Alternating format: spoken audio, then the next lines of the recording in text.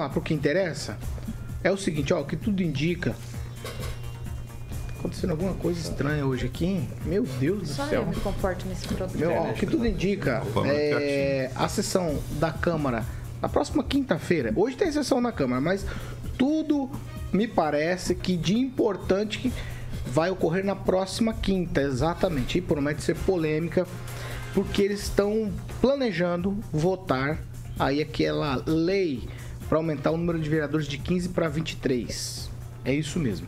E aí eu vou trazer as informações aqui, tocar para os meus colegas para a gente já debater esse assunto rapidamente aqui já no início do programa de hoje. Ó, um estudo de impacto feito pela Comissão de Finanças e Orçamentos da Câmara de Vereadores aqui de Maringá mostra que o impacto das medidas que serão votadas na próxima semana terão aí um impacto de 7 milhões e meio de reais por ano.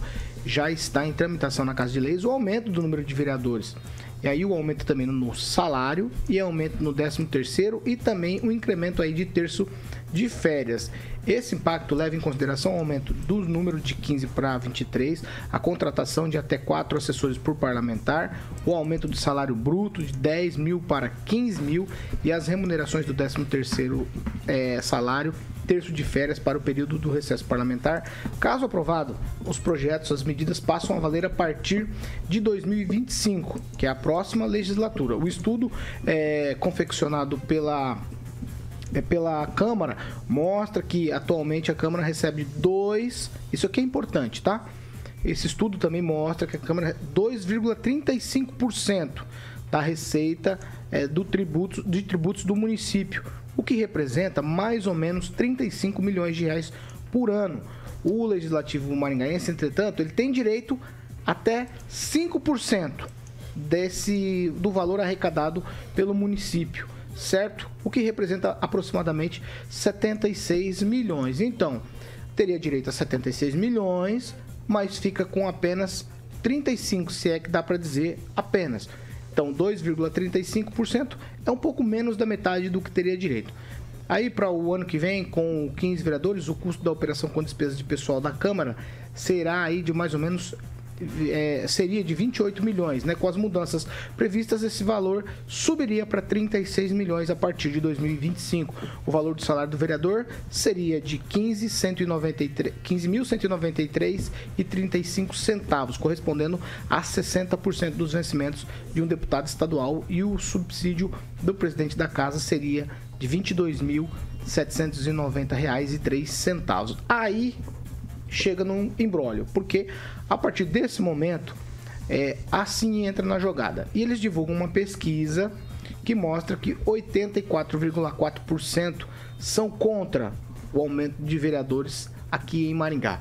A pesquisa foi realizada de forma online, registrou aí mil respostas e mostrou ainda que 6,6% das pessoas querem um aumento do número de cadeiras para 23. 3,5% querem aumentar para 17 cadeiras 4% são favoráveis a 19 cadeiras e 1,5% gostaria que Maringá tivesse 21 vereadores. E aí, a gente vai agora para essa discussão para a partir de quinta-feira. O que fica bem claro aqui que me parece que a nossa Câmara é uma Câmara de vereadores econômica.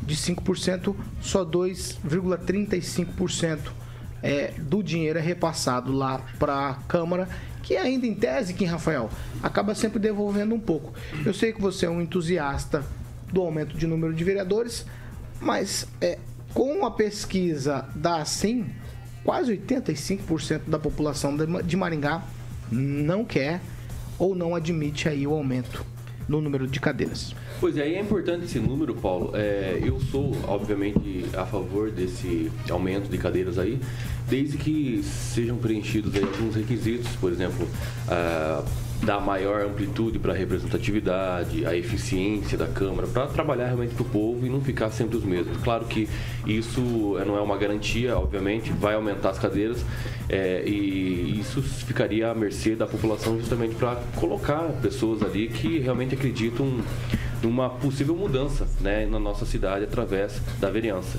É, mas o combo né, que torna o político de carreira cada vez mais expressivo é um problema.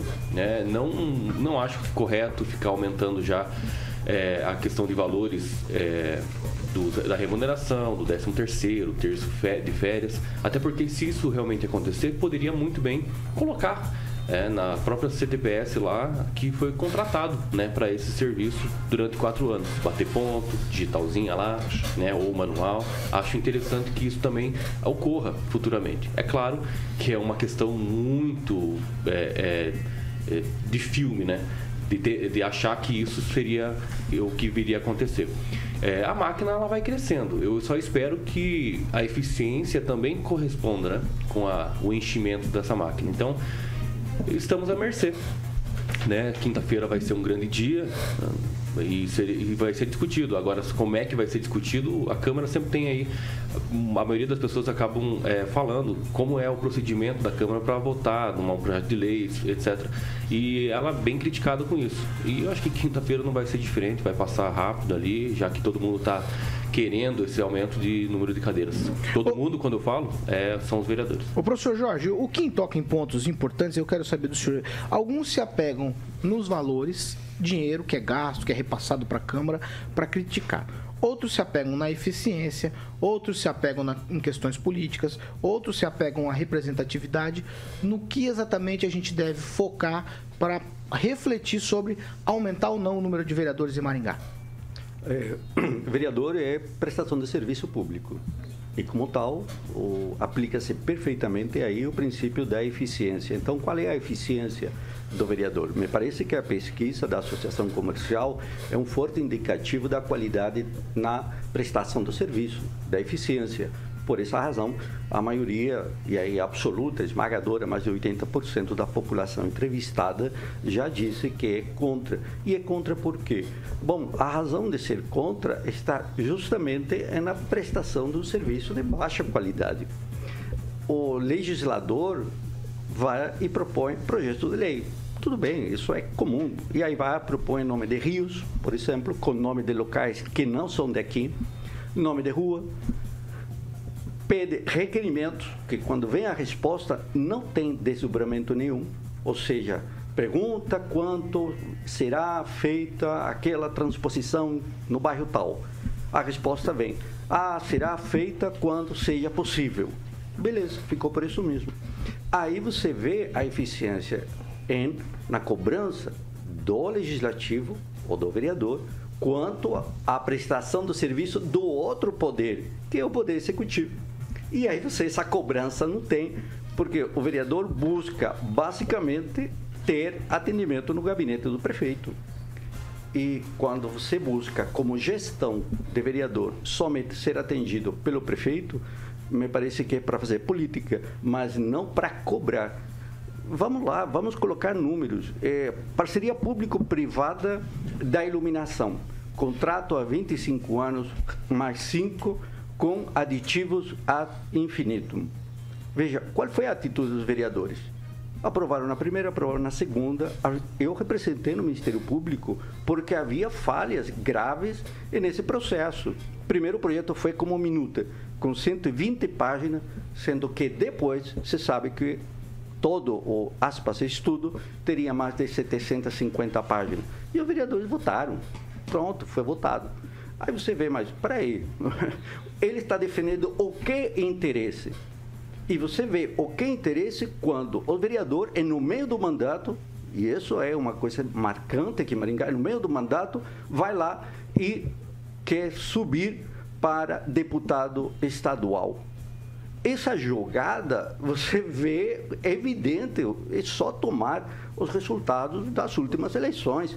Um grande número de vereadores foi candidato a deputado estadual. Então, ele é vereador ou ele é pré-candidato a deputado estadual? A minha impressão é que nossos vereadores fazem muito mais um jogo no seu interesse político, da sua é, visibilidade política, que uma atuação efetiva na fiscalização tanto é ineficiente na fiscalização, que aqui nós comentamos nessa bancada mais de uma vez, a importância do Observatório Social de Maringá, ainda que a gente tenha ressalvas, mas é um trabalho eficiente quanto ao controle do gasto público. Os vereadores não controlam o gasto público do Poder Executivo.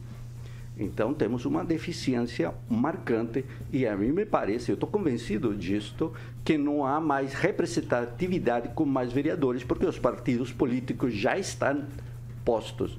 Ou seja, a representatividade é de partidos políticos, o sistema é por partido político. Então, essa ideia de que ah, vai ter mais representatividade não há.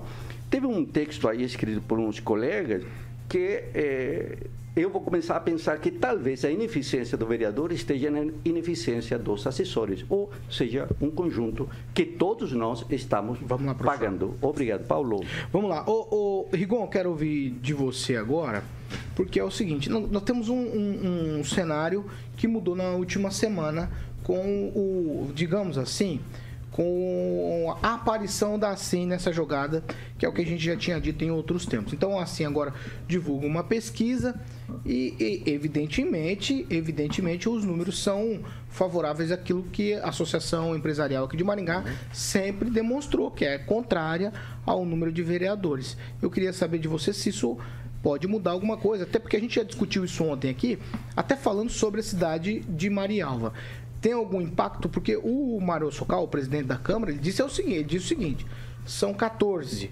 que estão fechados, não vão voltar atrás, porque assim está se metendo aonde não deve, onde deveria se meter, não se mete. E agora vem querer fazer é, ingerência aqui na, na Câmara de Vereadores.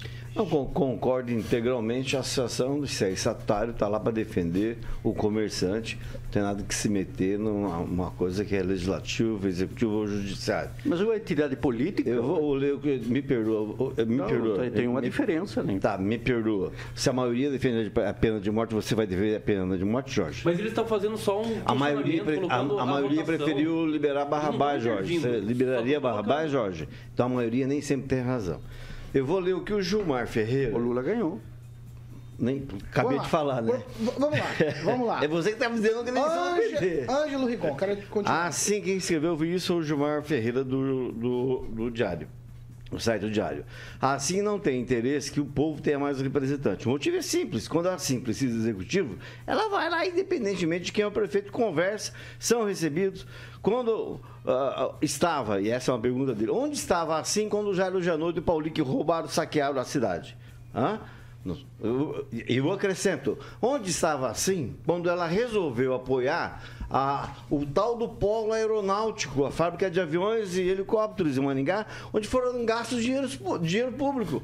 Os jogos de voleibol que foram gastos dinheiro público, houve um saque de 500 mil reais na boca do caixa, o Ministério Público abriu um, um procedimento. Então, e sem, sem contar outras coisas. Nessa época? É, vocês nem eram nascidos ainda, e esse pessoal da SIM que era contra a reeleição, é, pro, pro, pro, é, propôs que todo maningaense nasceria com um e-mail. Todo maningaense sairia com um e-mail do hospital. Nunca saiu do papel. A ideia é ótima, ganhou repercussão nacional. Nunca nenhum maningaense ganhou um e-mail proposto pela assim. Então, assim que trate de cuidar do pessoal dela, e pra, ontem, na, em Marialva, o projeto foi retirado mediante a, a, a.